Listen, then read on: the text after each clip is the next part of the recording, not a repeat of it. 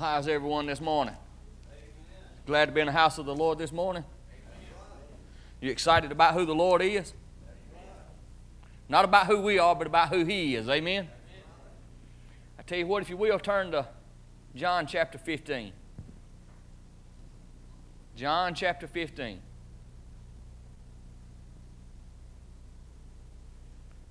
We've been talking here lately about spending time with the Lord. Amen? About becoming one with Him. Well, can I tell you, it's not changed. This morning we're going to be talking about spending time with the Lord and becoming one with Him. Amen? Amen. Let's, let's face it, our only hope, our only way of making it out of here is if we hang on to Jesus. Amen? He's the only option we got, folks. You can grab hold of stuff, you can grab hold of, of mother and father and brother and children, but that's not going to get it. Amen? We need to grab hold of Jesus. And we need to hold on to Him like our lives depend on it. You know why? Because it does. Our lives do depend on it. Amen? Let's have a word of prayer. Our precious Heavenly Father, we thank you for this opportunity of coming into this place. Lord, I just thank you for each and every one that's here this morning. Lord, I thank you for those that are watching through that camera. Lord, I thank you for opening every heart, every mind this morning, making it receptive unto your word. And Lord, I just thank you right now, Lord, for your mercy, for your grace, for your peace that you give us. And Lord, I thank you for continuing to, to walk with us, Lord, continuing to have mercy on us. And Lord, I thank you this morning for allowing me to be your mouthpiece. And Lord, it's in your precious name we pray. Amen. Just a little bit stirred up this morning. I'm going to try to calm it down just a little bit. But, you know, the way the world's going today, we got two options. We can either go the way of the world or we can go the way of Jesus. Amen? I'm not going to get political this morning. I'm not going to go this way and go that way. I'm just going to tell you. When we walking, our walk ought to line up with the Word of God. If our walk does not line up with the Word of God, there's a problem. Amen? And I don't care how, how you try to make it sound or, or how gentle you try to be, sin is sin no matter what. Amen? Amen? I mean, everybody tells me, Jesus said cover sin. Jesus done took care of that. He has. My question to you is the same question that was asked in the Bible. Does that give us a right to just sin then? I mean, since He's covered it, does that give us a right just to go do what we want to do? And I mean, just sin willfully? The Word tells us no. By all means, no. Right? Sin is still sin. You know, I was reading this week about the, the lady that was caught in adultery. They took her to him, wanted Jesus to stone her. Right? That was the law. And you remember Jesus, he stooped down and he, he wrote in the, in the sand several times, and one by one they all got up. He said, Let he that is without sin cast the first stone, which means everybody's missed it, everybody's sinned. And he looked at the woman and he said, Where are those thine accusers? And she said, Father, I have none. He said, And I condemn you not, but go and sin no more. Right? See, he, he, he covered sin, but he still called sin sin. Right? So know the way you're going today. Amen? I don't care which party it is. I don't, if it don't line up with this word, don't go that way. Amen? Bottom line. Everybody said, well, you this, you that. I said, no, I, I'm for the Word of God. Whichever way goes the way of the Word of the Lord, that's the way I'm going. Amen? That's the way every Christian should be. You know what? If it was like that, if every Christian voted according to this book, Christians would never lose another election. Right? Amen? So we can blame whoever we want to about what's going on, but it's our fault. It's Christians' fault. Right? Amen? Folks, let's know the facts. Let's spend time with the Lord. Amen? So many people think in 2021 the Lord has changed. You know, what was wrong back then is not wrong anymore. The Lord, He's, he's come a long way. He's grown, if you will. No. He's not changed. He has not changed. My Bible tells me that Jesus is the same yesterday, today, and forever. Forever. Amen? So he hadn't changed. What he didn't like then, he still don't like now. What he didn't like a hundred thousand years ago, he don't like now. Amen?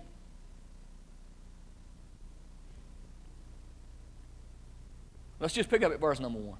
This is Jesus talking. He said, I am the true vine, and my Father is the husbandman. Every branch in me that beareth not fruit, he taketh away. And every branch that beareth fruit, he purgeth, it, that it may bring forth more fruit.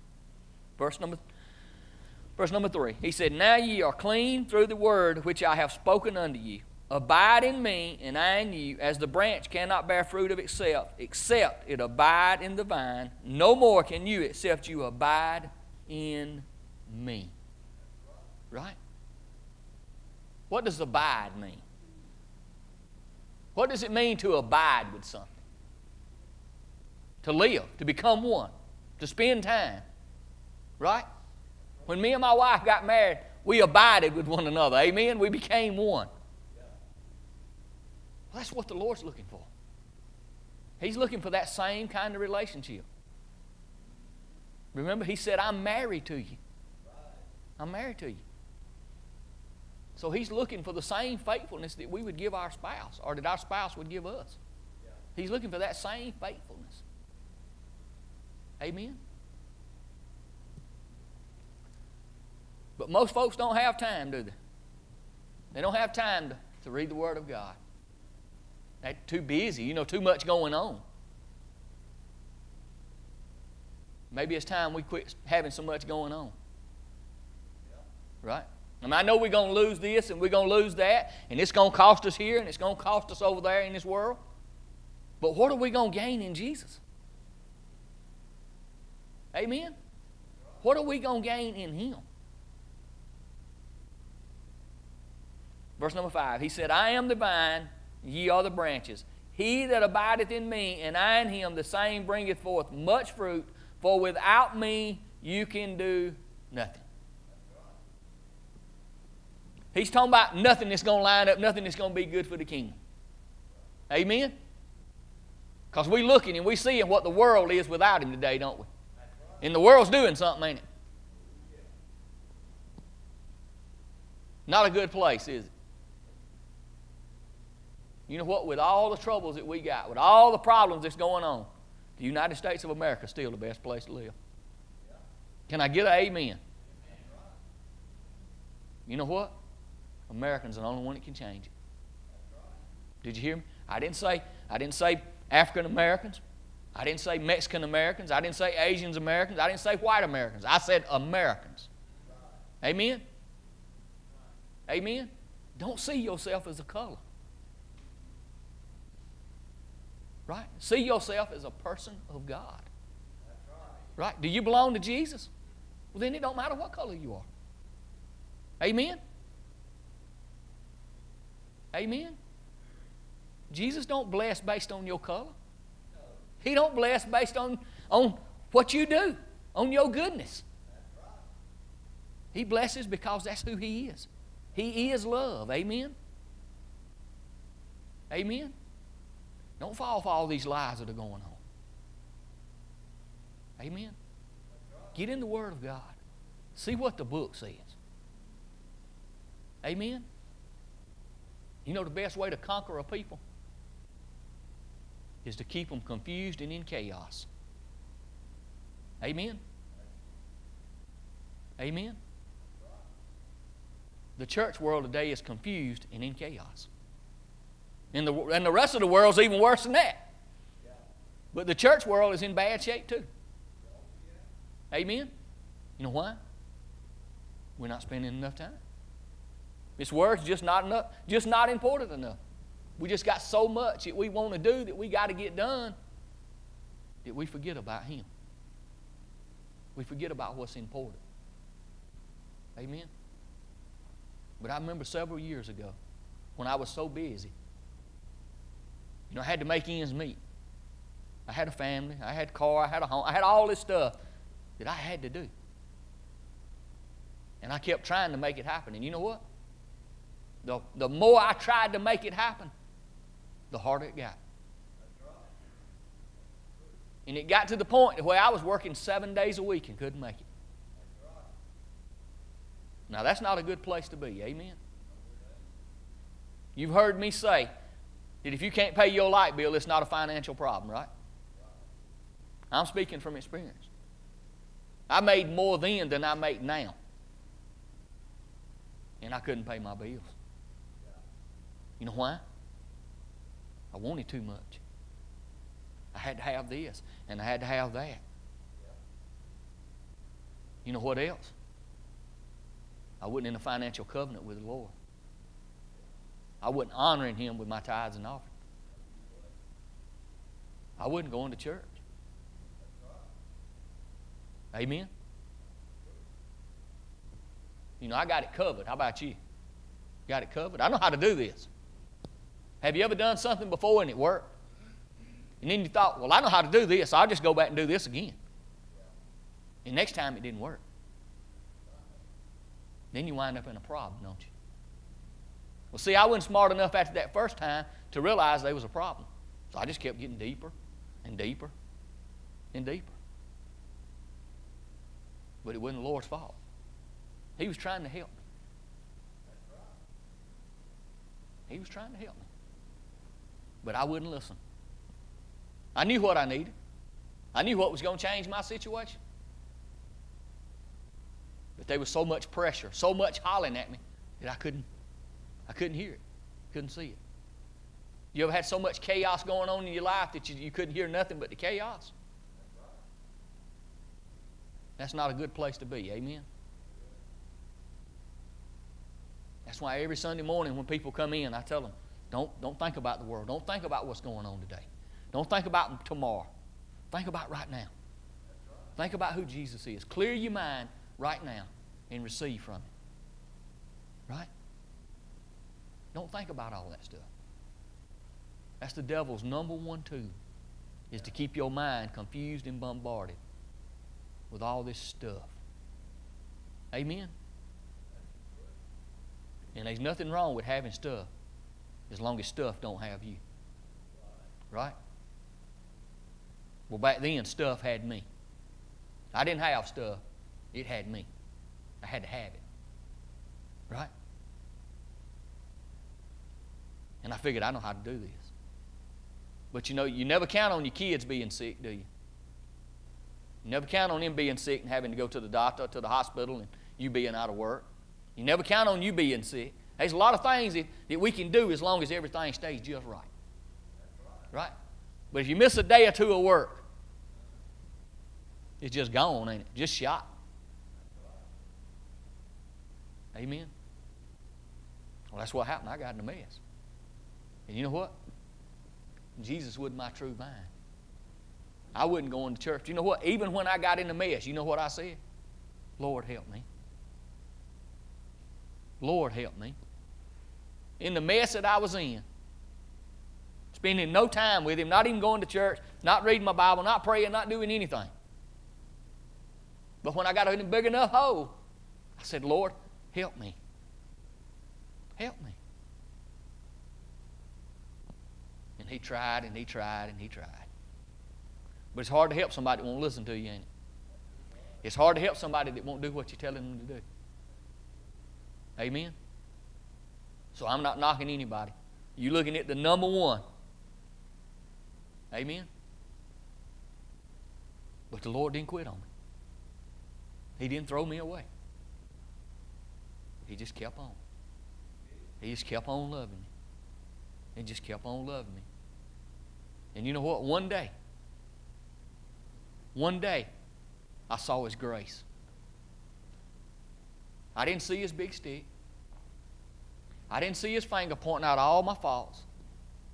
I saw his grace. Have you ever seen his grace before?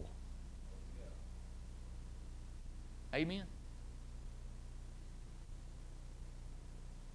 The only way we can see his grace, folks, is spend time with him. Because if we don't spend time with him, we're going to see ourselves just like the world sees us. That we're not good enough. That we missed it again. Amen? That we in chaos. Jesus is not Lord of confusion. He's Lord of peace.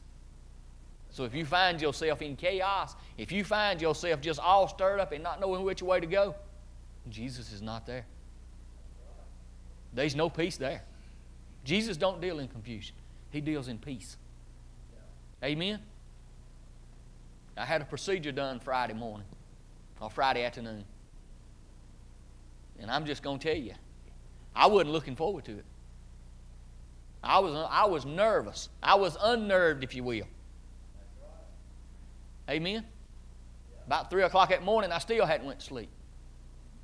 And I got up and, and I went in the kitchen and I just I said, Lord, what is this? He said, It's something you shouldn't have. It's fear. And fear don't belong to you. Fear don't belong to you. I wish I could tell you I snapped to it and didn't think nothing else about it. I didn't. But every time that thought came, I heard what the Lord said Peace. I'm peace. Amen? You're a part of me, I'm peace. And I'm going to take care of you. Right? It don't matter what, I'm going to take care of you. I'm going to take care of you. Right? But that's not what the devil wanted. The devil wanted me to be uptight. Right? You know what he wants for you? Same thing. If he can get confusion in your life, if he can throw so much stuff on you that you can't see daylight, that's what he's going to do. But you know what? Talking from a man from experience, when you say stuff, you're going to have to wait. You're going to have to wait. I know this needs done. I know that needs done. But this is more important. That's when things start changing, folks. Past few weeks, things have changed for me. I've seen, I've seen some things, and I don't want to say too much too quick. Amen. Not in here, but some folks out there start throwing rocks at me. They'll start throwing rocks. But you know what? All we need to know is that Jesus wants to be our number one. And if we make it through this world, He's going to be our number one. If He don't, we're going to bow to this world. Do you hear me? If you don't bow to Jesus, you're going to bow to this world. No two ways about it. No two ways about it. Amen? And the best way to bow to Him is to start spending time. I talked about tithing offering a while ago. It's not about your tithing offering. It's about your time. Amen? Because you know where you, where you start spending your time, that's where you're going to want to spend your money. Amen? If you like to fish or you like to hunt and you spend your time doing that, where are you going to spend your money? If you like to race, where are you going to spend your money? If you like to sing, where are you going to spend your money? They don't give those CDs out for free, do they? They don't give those books for free. And I'm not saying there's anything wrong with any of that. But I'm saying that can't be our goal. That can't be our number one. Folks, He's got to be our number one. Day and night, as we say here. And all of the rest of the time, you can have and do whatever you want to with it. But just day and night belongs to Him. Amen? Miss Cheryl caught that. She said, There is no more time. That's right.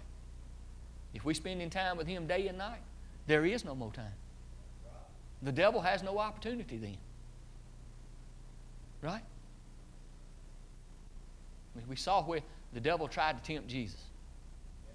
And what did Jesus say? He carried him back to the Word every time, didn't he? And then the devil thought, well, I'll be crafty. I'll turn the Word around on him. But Jesus didn't fall for it, did he? He knew what the Word says. This morning, do you know what the Word says? If the devil comes to you and he tries to turn it around on you, do you know what the Word says? You know what? A lot of Christians don't know what the Word says. You know why? They don't spend time in it. Got quiet on that camera, didn't it? But it's the truth, folks. It's the truth. The Lord said, where you spend your time, that's what you're going to be like. If you spend your time with the world, you're going to be like the world. Amen? You hang around somebody, you're going to act like them. I don't care. You can say all day long, oh, that's not going to be me. I can, I can do the, I can handle this. No, you can't. You can't. All that stuff's going in, and you know what? One day it's coming out. It's planting seeds. You may not think so, you may not see it. Amen? I see people, and I'm not knocking anybody, I'm not throwing rocks. They go to the clubs, and they want me and my wife to go. Come on, go with us. You don't have to drink. Well, what I want to do that for? Well, I mean, what if I'm not going to partake in it? What I want to be there for? That'd be like going to the steakhouse sitting down watching everybody else eat. I mean, what fun would that be? Why would I want to go? I mean, I'm not throwing rocks this morning, and, and if that's your wagon. I'm telling you my wagon this morning. I'm telling you for me. I don't, I don't want to put myself in that situation. Amen? And if you're spending time with the Lord, you won't want to be there. Do you hear me? Do you hear me? Can anybody tell me what they call alcohol? What do they call it? What does the liquor store call it? Spirits. Spirits. Amen? They got liquor stores in LaGrange. Spirits. We sell spirits. That mean anything to you? It's something that gets on the inside of you and it defiles you, don't it? It changes who you are. Amen? And I'm not, I'm not on alcohol this morning, so don't go throwing rocks. I'm on anything that's against the Word of God. Anything that's going to defile you, anything that's going to change what the Lord's called you to be. Amen? And I've known people just as good as they can be. They get a couple of drinks in them, and you can't be around them. They either want to fight, they want to cuss, they want to dance, they, they want to laugh. It changes who they are, don't it? Amen? Either that it brings out the real who they are, don't it? One of the two. But my point is, it changes from the person that we know, don't it? Amen? It changes that person. Well, what's changing that person? That spirit that's being put on the inside. Right? That alcohol. You can agree with me this morning and not agree with me. I, it makes no difference to me whether you agree with me or not. I'm telling you the Word of God. I'm telling you the truth this morning. Amen? So if, if you don't want to agree with me, that's fine. That's fine. But prove me wrong. Amen? Before you throw me away, prove me wrong. Right? Prove me wrong. I guess my my number one thing is, folks, if we spending time with Him, if we walking with Him day and night, like the Word says, we won't want all this other stuff. All this other stuff won't be important. It, it just won't be. Amen? You know, I remember when I first started going to church, and I was saved, but you know what? I wasn't on fire.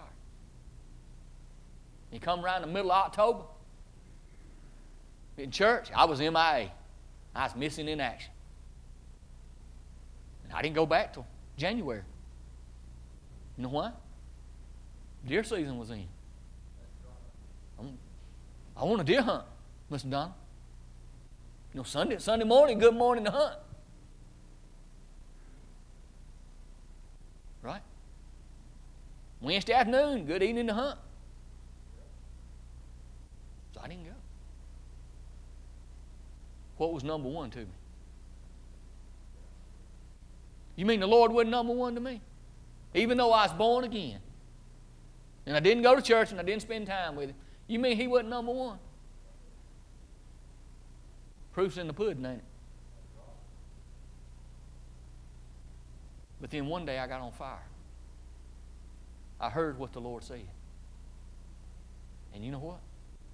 That was it. It don't make no difference to me now what happens. He comes first. His word comes first. Amen. You won't see me miss a Sunday morning or Wednesday to go hunt. You won't see it. It's not that important to me anymore.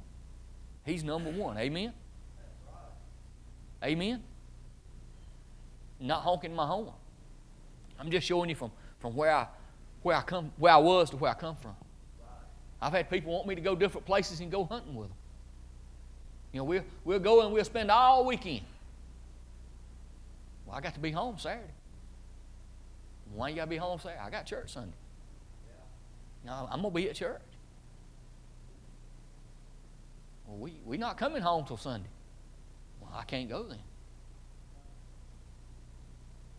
What you mean you can't go? I'm going to take care of everything. It ain't going to cost you anything. All you got to do is get in the truck and go. Yeah, it's going to cost me something. It's going to cost me my walk with the Lord.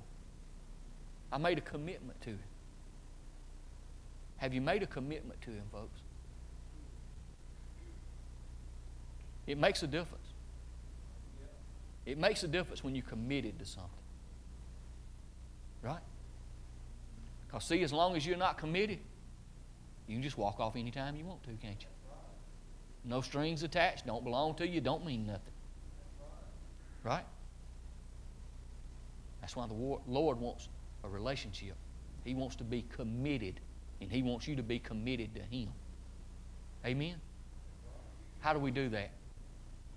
We do that by spending time with Him, by being in His Word. Amen? Verse number six. He said, If a man abide not in me, he is cast forth as a branch and withered, and men gather them and cast them into the fire, and they are burned. He said, If you abide in me, and my words abide in you, you shall ask what you will, and it shall be done unto you. He said, If you abide in me, you shall ask what you will. You know what? When you're walking with the Lord, when you're spending time with the Lord, when He's number one, you're not going to ask for something crazy. Right? You're not going to ask for a million dollars. But you know what? I can tell you right now, I'm a firm believer. If you're spending time with the Lord and you need a million dollars, the Lord will take care of you. Can I get an amen now? He said He would. Right? So we shouldn't go out asking foolish things, asking amiss. Right? We ought to be spending time with Him. Verse number 8, he said, Herein is my Father glorified, that ye bear much fruit, so shall ye be my disciples. As the Father hath loved me, so have I loved you. Continue ye in my love. If you keep my commandments, ye shall abide in my love, even as I have kept my Father's commandments, and abide in his love. These things have I spoken unto ye, that my joy might remain in you, and that your joy might be full. He said, This is my commandment that you love one another as I have loved you. Greater love hath no man than this, that he lay down his life for his friend. For his friend. Amen? He said, You are my friends if you do whatsoever I command you. Henceforth I call you not servants, for the servant knoweth not what his Lord doeth, but I have called you friends. For all things that I have heard of my Father, I have made known unto you. Jesus is calling you friend this morning. That means He wants a relationship. That means He wants to spend time with you. That means He wants to be your number one, and He wants you to be His number one. Amen. Amen. But it's up to us. It's not up to him. Folks, we can get wrapped up, tied up, and tangled up in this world. We can get tied up in all of this stuff that's going on. We can get hooked on this woke culture that they call it now. It's up to you. It's not up to Jesus. Just because something is happening in the world today, don't make it Jesus is doing. Do you hear me? The devil has power also. And you know what? The devil's power will work in your life if you give it opportunity. It's up to you. Right? Every morning I get up, I hear these words Today is your day. Choose wisely. Choose wisely. And then the next thought that comes to me life and blessing or death and cursing. That's what comes to me. And I got to look at that. And I have to study that. And you know what? When I look in that mirror, I got to know who's looking back. When you look in that mirror, do you ever wonder who's looking back? I have before. I've looked in that mirror and wondered who's looking back. Who is that man?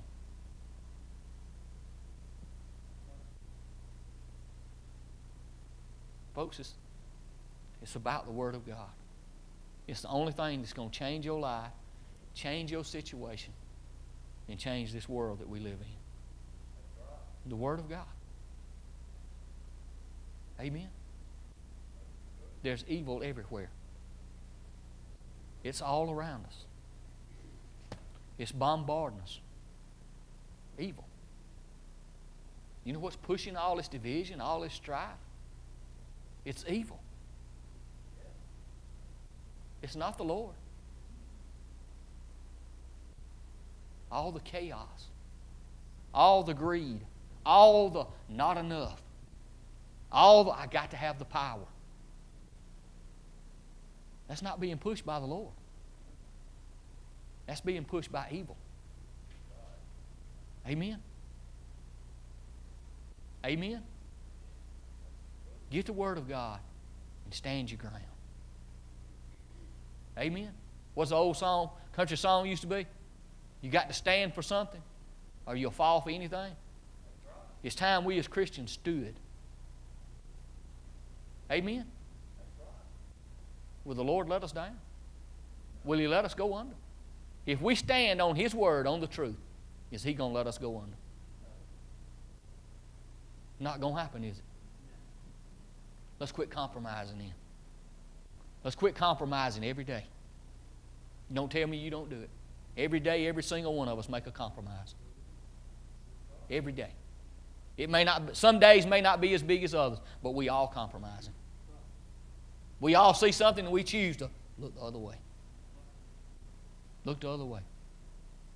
I'm closing with this. Me and my wife was in the grocery store yesterday, and there was a guy in there, and I'm gonna tell you, he flat cussed that little little clerk out at the counter. Just flat. He called her some words I hadn't heard in a long time. In a long time. And I thought, the Lord loves both of them.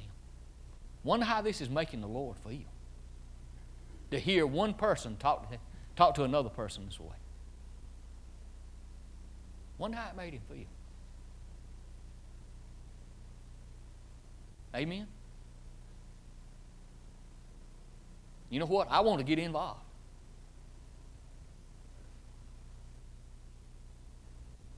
But the Lord told me to leave it alone.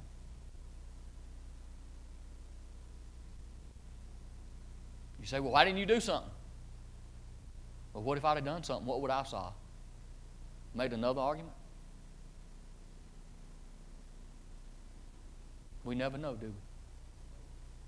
We never know. Amen. Folks, you better be spending time with the Lord. The way things are getting right now, you better be spending time with the Lord. I mean, that man could have pulled out a gun and then just went to shoot. Hello?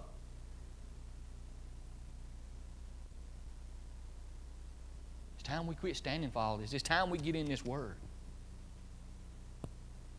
Right? If every one of us hear the truth, know the truth, and walk the truth, they won't be episodes like yesterday.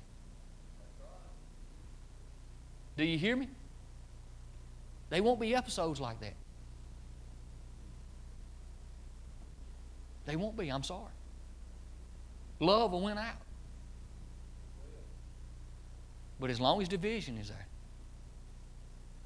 right? As long as somebody thinks somebody else is out to get them, as long as somebody's in fear, as long as somebody's in torment,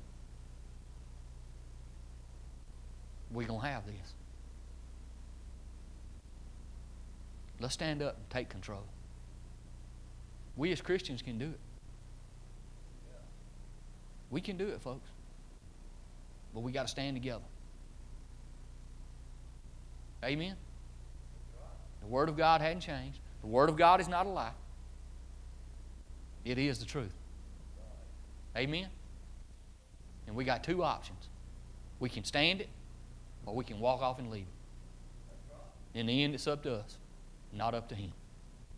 Amen?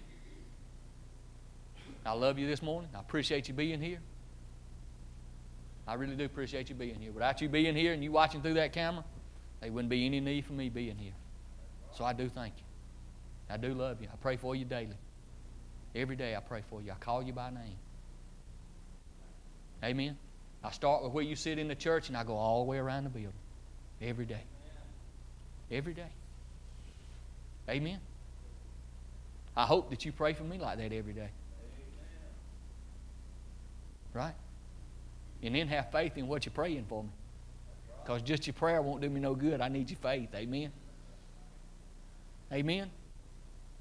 Folks, the world needs our help. The Lord needs our help. This morning, my final question to you. You that are here and watching through that camera. This morning, are we His disciples or are we just volunteers? Are we committed this morning or can we just walk away at the drop of a hat?